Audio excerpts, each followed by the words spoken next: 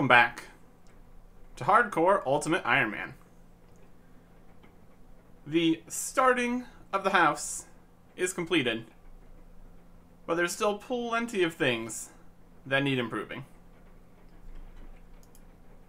And we're going to start working towards a lot of them. Unsurprisingly, as it is Iron Man mode, there are a lot of steps involved. But before we get to that, it's time to get some of our equipment back that we got rid of to make construction training easier. And to get rid of the construction training supplies. Don't need a hammer and saw. Those are very easy to get back. We're also going to be dropping the plank sack. We have very large amount of points to get one of those back whenever we want to train construction again. This is an unfortunate waste of points, but it is recoverable. You can't put this anywhere. You can't store it in a house or anything. As convenient as that would be. Which is unfortunate for us. So, it just goes on the floor.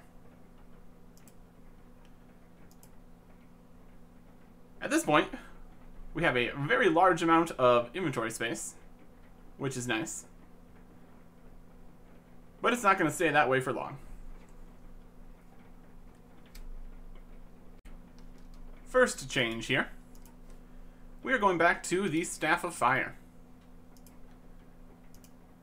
The Earth Staff was fantastic for saving an inventory space for teleports to house. But the Fire Staff's more useful. This will mean that we need to go get some Earth Runes. But overall, I think this is the correct choice. Partially because the Fire Staff is just good for doing other things. And also, because with Earth Runes, we'll actually have a teleport out instead of having to put on the staff first. Which, in a lot of situations, would not be ideal. Let's get a couple of those, a couple of those. We still have a good amount of money, which will make things easier on us as we navigate this, I'm not going back to the agility pyramid times. So it is the Staff of Fire, which we are immediately going to go throw on a table. As is always the case for us. We've got combat items. We need to go to Entrana. So they're going on the table. There's always a possibility that somebody will come up here, pick up all our stuff. But these are all somewhat replaceable. Getting a Dragon Scimitar back would be a bit of a pain. Oh, there's just a there's just a person right here that saw me walk out. No. No, I don't think that's gonna work. I'm taking my stuff back. I'm hopping worlds. And then we're going to Entrana. I looked at everything that I needed to do, and I think this is an okay time to retrieve the Drammen staff. It's just so nice for getting around. It really is pretty much worth it. So now that we have the Drammen branch back, just need to go pick up my stuff, and then we can continue to the next thing. Knife from the Lumbridge kitchen. Gets us the Drammen staff. Then Perdu here can give us back our Ardougne cloak for 200 coins. That's honestly worth it instead of going to Ardougne. We're still keeping the Xeric's Talisman around since we need that for construction. Ultimately, it's going to be a little bit of work to get the 5,000 Lizardman Fangs. If if we check here, we've got 103, and we might be able to take those out. Either way, it's still a very nice teleport to have. I'd like to get the infinite version of that eventually. But right now, I'm working for a different amulet. And possibly two different amulets. Depends how things go. Back down here, in the ham storeroom. Went and got some nature runes to do some alching here. But there is the Amulet of Power and the Amulet of Magic.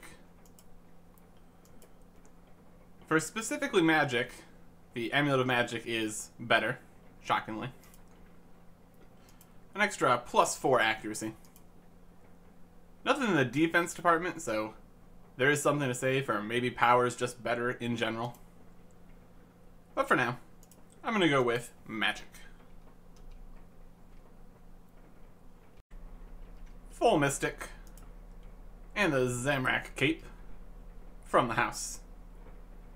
1500 fire strikes worth of runes. And we are going to go fight a very specific enemy. Salarin the Twisted. A level 70 Chaos Druid kind of guy. Who is only damageable with strike spells. A very, very particular enemy. Also, if you stand far enough away from him, he doesn't attack you anymore. Thank you, other Chaos Druid, for perfectly blocking. Additional bonus. These strike spells do more damage than normal against Salarin. And then when Salarin is dead, we can fight some regular Chaos Druids for a little bit.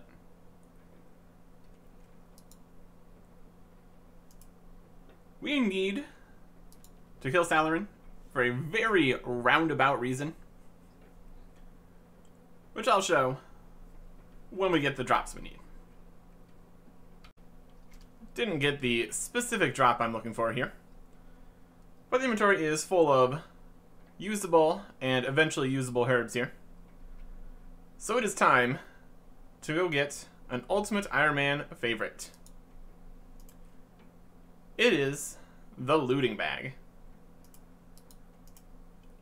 Now, it's not quite as user-friendly as it is for regular Ultimate Iron Man, where it is already in no way user-friendly.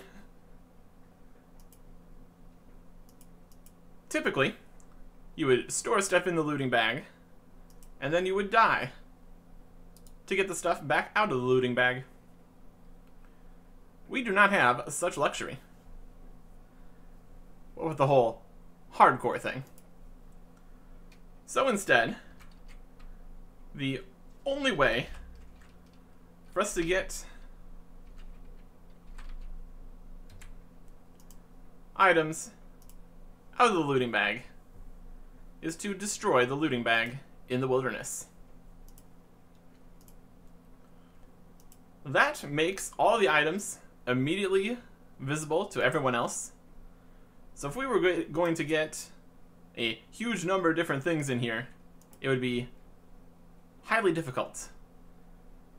Especially when we can't just have another looting bag ready to go. So we have to be pretty careful with what we put in here. For right now, it's going to be herbs, and I think the rune axe would probably be a good choice.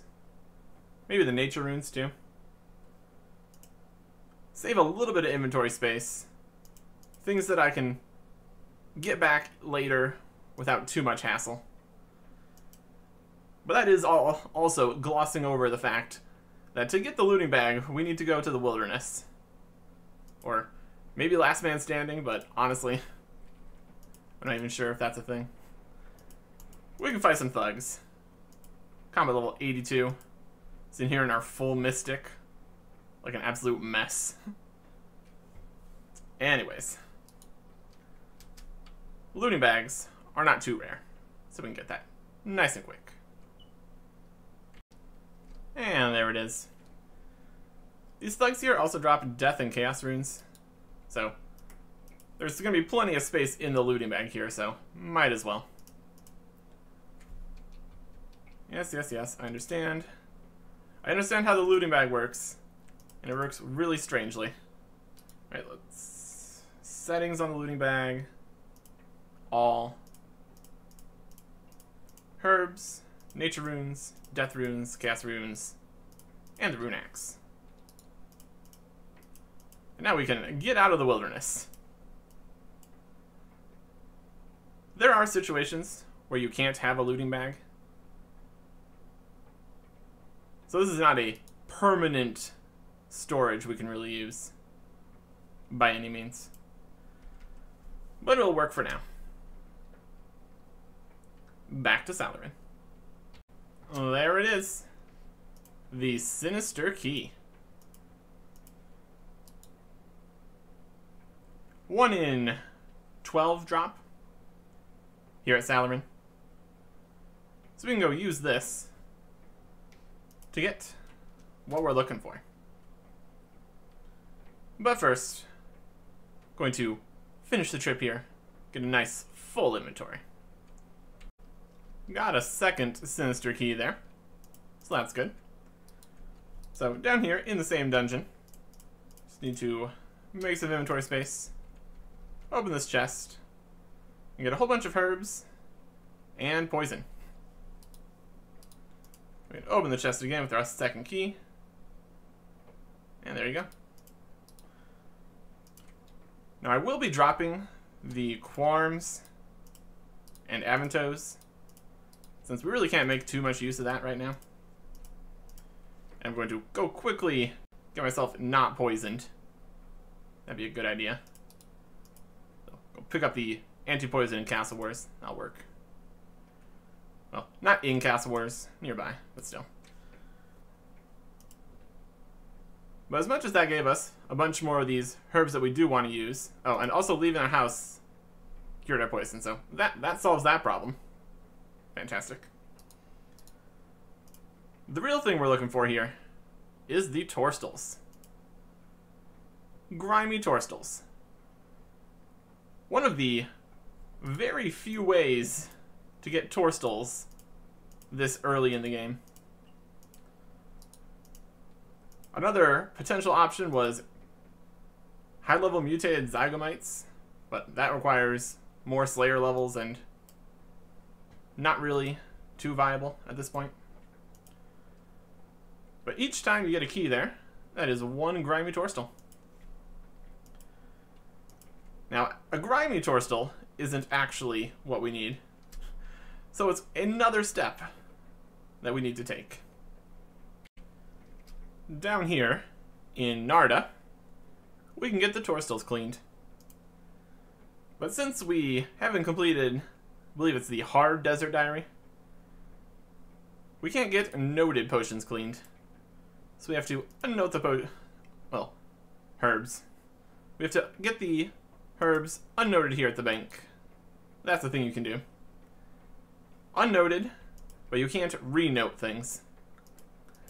Then we take the two unnoted herbs, get them cleaned for 200 coins each. And now, we are prepared. A clean Torstol, given over to Dr. Jekyll, rewards you with a Stamina Potion 4. So we just need to wait around, or just do anything, waiting for Dr. Jekyll 10 times. And once we've done that, we can use those 10 stamina potions to upgrade the, our pool. And likely by the time we get to that, we'll also have the prayer potions required to upgrade it again. But getting the stamina potions is the hard part here. Also, of course, we need to get more Torstols. So might as well just get that done here. and also collect more herbs over back at Salarin. And that is all we need. 10 clean Torstols. Going to be storing 9 of them in noted form to save inventory space, of course. And then in the looting bag, our total loot in terms of other herbs 51 Guams, 38 Harralanders, 44 Ranarrs, and 26 Irits. Not too shabby. But now, for the stamina potions, all we can do is wait around and do other things while we wait for the random event that we need 10 times. So, we gotta go do something else. Goodbye, Magic Amulet. And hello, Blackjack. It is time, I've decided, for some thieving. Level 53 thieving. So we can do some blackjacking. We're also going to need food, which we can easily get down here at the bar. This is going to be filling up our inventory with jugs of wine. It's going to be great. We're also going to make some money here, so that's also a plus. There is level 65 thieving. My character is somehow managing to be focusing on this bandit as he walks around while I'm still in this interface. That's probably fine. But 65 thieving means we can move on from these bandits up here to Menaphite thugs. Closer to the bar here, more convenient for resupplying. Since we don't have any noted food that we could use. We're just getting a whole bunch of wine here. And the Menaphite thugs are also significantly better experience. So that's good too. Now that I have my costume room well and truly established, we're now free to collect the random event costumes. There's the zombie gloves, zombie trousers, and beekeeper's gloves, which we can very easily go store. Previously, we could only store some parts, well, some sets, since the fancy dress box could only hold so many. So we currently have the camo outfit completed and most of the beekeeper. Which we still can't take out until we get the beekeeper hat, but that's fine. And now we can start on storing in the zombie outfit. So that is very good. We take a look at the collection logs, other random events, we did get the mime pieces at some point, but we had to drop them since they wouldn't fit. So we need to get those again from another mime random. Looks like we have all of the stuff from the drill sergeant random though, so won't need to be doing that at least. And now we have more inventory space to continue thieving. Several concussions and a swimming pool full of wine later. There is 80 thieving. Our third 80 skill, following construction and agility. Interesting mix we have there. Well, that should be enough to get to what I'm trying to do here at a reasonable chance of success. Also, beekeeper's hat, so that's nice. Pretty sure that is the full beekeeper. So that will be another random event I don't need to do. Doesn't actually speed up any other random events, but still. Full set. And the bank pin, when I still have a bank. Eh. So I'm going to need to get some stuff together for what I needed this thieving for. Okay. We've got the full graceful on, because the rogues isn't going to do anything for us. We've got a lockpick from rogues den. We got super anti-poison from the spawn near Castle Wars. Now we need a chisel, a needle, and some thread. A wide variety of items, for sure. These are all necessary to get the most out of. Stone chests in the Lizardmen Temple.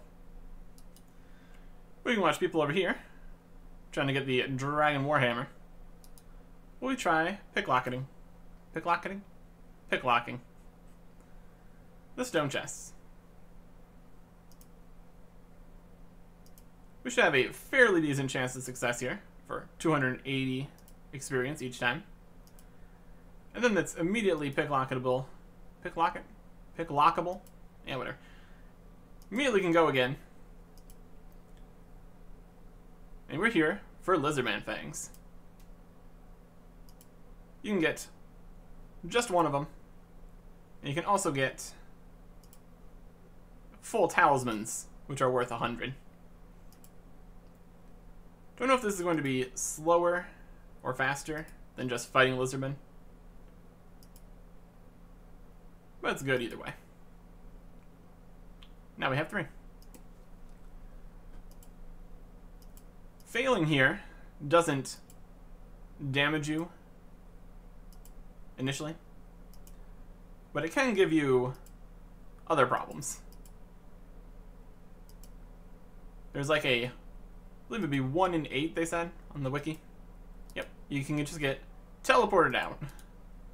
And then when you're out here, you get attacked by lizardmen, who can damage you or poison you, or both. So that's what all these are for.